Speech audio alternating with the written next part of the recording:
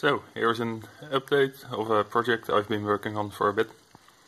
And yeah, what to do in self-isolation and when bored. Let's try to see if we can let some pencil leads explode. Over here we have some high voltage capacitors. They are together 2.8 millifarads. Uh, and they will be charged up to a voltage of 400 volts, roughly.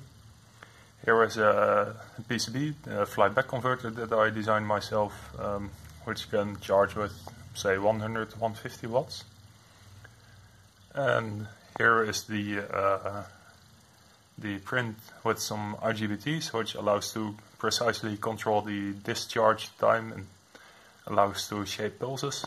And the whole system is fed by a 24 volt 6 cell LiPo battery, which I had lying around. So here's the control box. If I press this switch, the, uh, the capacitors will start charging. There we go. So it's at 400 volts now. And if I press the other button, we should see some sparks. There we go. And as you can tell by the results, the uh, pencil does explode indeed.